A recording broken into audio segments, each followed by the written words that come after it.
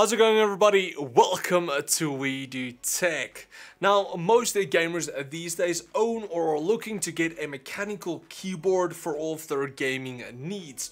You feel a lot better to type on, they're far more durable than membranes, and you have a wider selection of switches to choose from to fit your preference.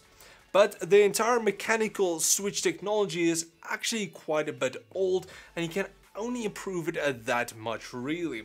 Well, the solution to that is to use optical switches that delivers far faster and more precise keystrokes and now Razer has engineered their own optomechanical switches for their new Huntsman keyboards. And I have to say, without a doubt, these are my new favorite switches. So let's take a look at Razer's new Huntsman Elite and their new optical mechanical switches right after this. But just before that, if you guys are in the market for a new NVIDIA RTX or graphics card, whether it's a 2080 Ti, a 2080 or the new 2070 graphics cards, Rebeltech has you covered from also all of your favorite brands, whether it's a Gigabyte, MSI or a ASUS. So definitely check out Rebeltech to get your new RTX graphics card now. So starting off with the pricing for the Razer Huntsman Elite, it is retailing for around 3000 Rand on Rebeltech here of Africa or around $200 on Amazon. But you do also get the smaller and more affordable Huntsman without any of the fancy features, but still with the optomechanical switches that is going for around 2300 Rand or $150.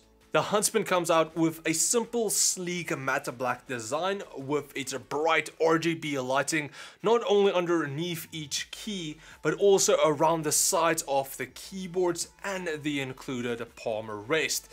The side lighting is definitely a cool feature and is more focused uh, to the side and not really downwards so you don't really get a more glowy effect on your desk which I actually do kind of like uh, but it does keep the lighting a bit more subtle. The Huntsman also has a sturdy build construction with an aluminium top plate that does help prevent with flex. Now straight away in the top right corner you will notice that you do get a dedicated media controls with a cool and also RGB volume and a mute scroll wheel that does make adjusting your volume actually quite a bit fun. Uh, also for some of uh, the other function keys, you do get a on-the-fly macro recording, your gaming mode, brightness adjustments for the backlight, you get your sleep, and then also you can change your profiles on the fly but you can have a lot more adjustments that you can just create and set in the software. As for the included palm rest, it connects to the side of the Huntsman with ease with its magnets and pins to send data and power through for the lighting. The palm rest has a soft leather padding that makes typing and gaming a lot more comfortable and kind of these days I feel any high or even a mid-range gaming keyboards do need a palm rest because it just makes it uh, that much better and more comfortable to use. Taking a quick look underneath the Huntsman and the palm rest, you get a plenty of anti-slip pads that does do a really good job at that. You also get your two flip-out keyboard feet that has some extra level adjustments as well for better elevation and uh, all of the elevation levels does also have anti-slip pads. For the cable, it is a dual USB braided cable with a length of 1.8 meters or 5.9 feet. Having also the two USBs does kind of make it a bit thicker, but the cable is easy to bend for your cable management. As for the keycaps, you get pretty much the same smooth uh, ABS plastic uh, keycaps as most of the other uh, Razer keyboards like the Black Widow. I would have liked if it was double shot or even a PBT keycaps, but uh, that is okay. Now getting into the main feature of the new Huntsman and that is Razer's new opto mechanical switches. So what exactly is optomechanical switches and why are they so much better? Well, how the current mechanical switches work is that you have to push down on the key, which then pushes a pin down to push two metal contacts together, and then it'll send through the signal. But uh, before those two metal contacts can send through a signal, there is something called a debounce delay, which prevents the signal from uh, being sent through immediately. Even though it is only a couple of uh, milliseconds, we can get it to near instant.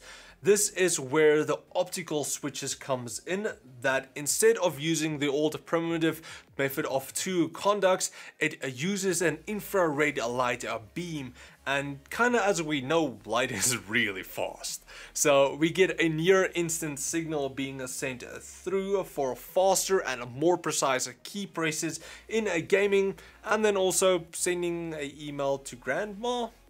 Uh, I don't really know if grandmas can really read emails or how they work. So maybe you can just print it out, maybe. It's still primitive, uh, but that's better than nothing, I suppose. Okay, but now all of that fancy talk is nice and everything, but how do the switches actually feel? Well, I have to say they feel pretty freaking amazing. You still get the mechanical feel with a clicky tactile bump. It has an actuation force of 45 grams and a low 1.5 millimeters of actuation point. Now, normal switches has an actuation point of around 2 uh, millimeters, and uh, the MX uh, speeds have an even lower 1.2 millimeters. So yes, the MX speed switches are lower for faster key prices, but they're not as snappy as the opticals and the problem that I personally had with the MX speeds was that because they are so extremely low, light and also has the linear response for anything other than gaming with a more precise finger placement, it was completely horrible. So writing an email to grandma was definitely a no-go with the MX speeds. This is why I personally like these new switches. Uh, they are much faster, they're still light, but they still have that nice tactile feel and not too crazy loud like a lot of the other blue switches so on. But now here's just a quick sound test of how those new optomechanical switches sounds.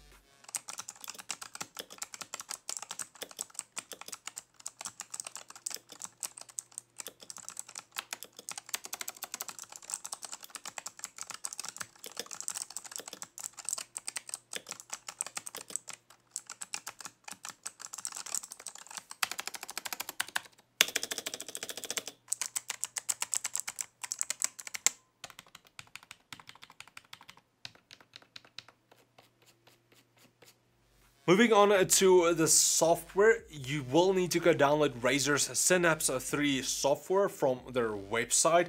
Now in the software, you will be able to create and edit profiles, assign different commands to each of uh, the key like media controls to launch a program, and then also you can assign and create your own custom macros.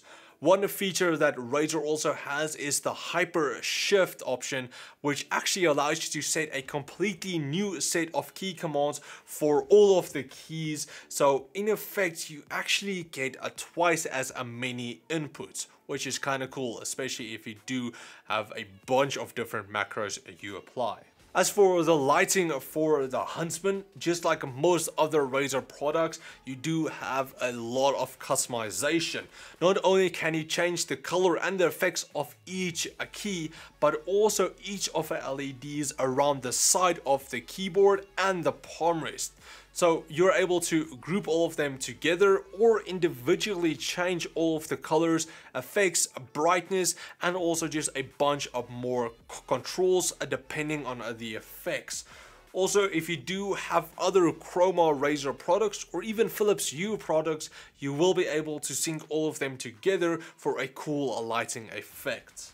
So now, in conclusion, even though I really do like the Huntsman, it's an awesome keyboard, there are some bad points that is worth mentioning. Firstly, in the middle where the palm rest and the keyboard connects, there is a tiny gap where the keyboard is higher than the palm rest uh, and it's not like it's not like that on the sides, it's only in the middle.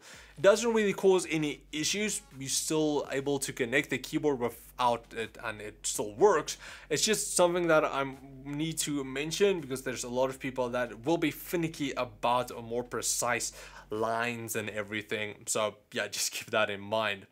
The second is that the way I personally rest my palms on top of the palm rest, I could actually feel the edge of the palm rest on my wrists.